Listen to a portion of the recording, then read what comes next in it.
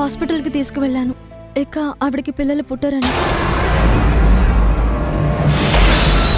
పిల్లలు పుట్టకపోవడం అనేది పెద్ద శాపం రా.